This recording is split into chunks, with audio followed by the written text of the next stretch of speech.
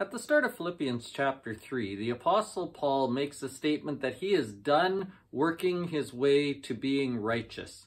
He's done trying to earn his salvation. He, he's tried his hardest to be right and good, and, and he's tried harder and harder, and it just hasn't worked. He, in fact, he makes a statement that he's counting all of that as lost now. It just was useless. It didn't do him any good to try harder to be better all the time. It just had no good result. When you hear that, you might think, well, okay, if that's true of Paul, then that's true of me too. And if I can't just try harder and be better, then I guess there's nothing for me to actually do. But that's not true. In fact, in the very next verses, the Apostle Paul outlines something that we can do to help ourselves. We can't earn our righteousness. We can't work our way towards salvation. But what we can do is guard our hearts. We can guard our thinking. We can make sure that we are focused on the right things and on the right path and trusting the right things rather than the wrong things.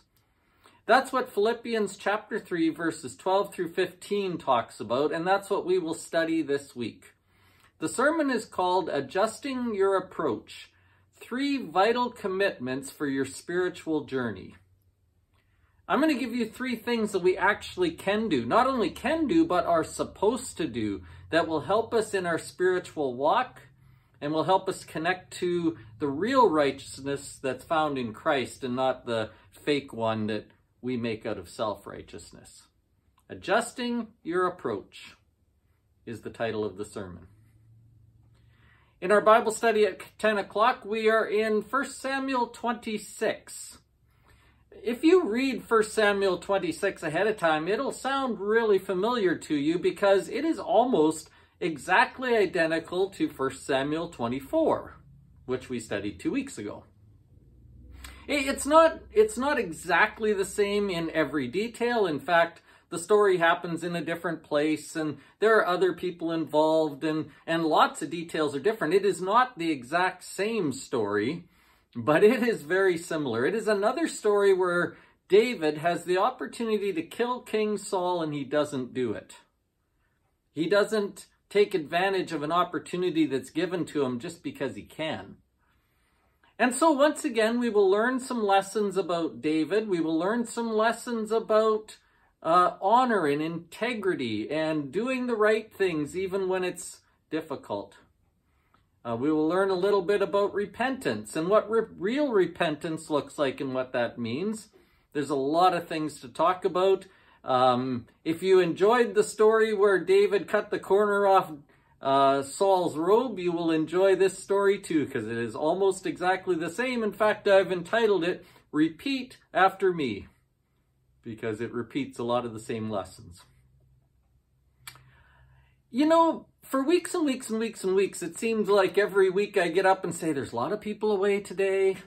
A lot of people are gone. Please pray for those who are on the road. And, and that's been true. I mean, lots of people have been traveling in summertime and all, right? And even in through the first part of the school year, lots of people have been away.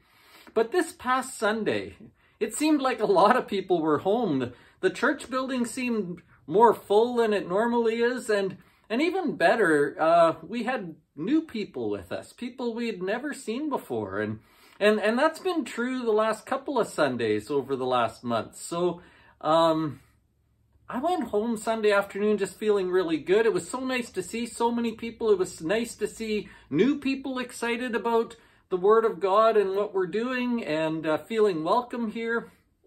And I just went home feeling so good about things. I share that with you just to say, I'm looking forward to this Sunday now too. Um, I'm looking forward to seeing you this Sunday. I'm looking forward to seeing who else shows up this Sunday. If you've been away for a long time, this is a great Sunday to come back. We're looking forward to seeing you. It'd be great to catch up and rejoice with you again. And if you're thinking about inviting someone to church, this would be a great time to do that. Uh, two or three weeks ago, we had a new family here. We had a new family here last week. There's new people coming. Uh, new people uh, are welcome and will fit in well because there's other new people around. So if you're thinking of inviting someone, this would be a great Sunday to do it. The lesson will be really, really practical and uh, and I think they'll get a lot out of it. I'm looking forward to Sunday. We'll see you then.